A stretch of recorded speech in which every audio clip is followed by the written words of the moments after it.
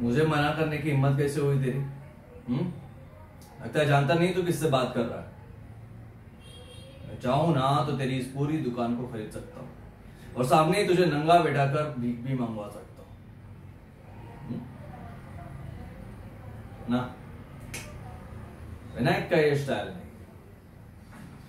विनायक इतनी सीधी तरीके से बदला नहीं लेता। पर हाँ जब भी बदला लेता हूँ ना तो सामने वाले को पता चलने से पहले ही उसकी ज़िंदगी बर्बाद हो चुकी होती याद रखना। विनायक नाम है मेरा। बहुत भारी पड़ेगा।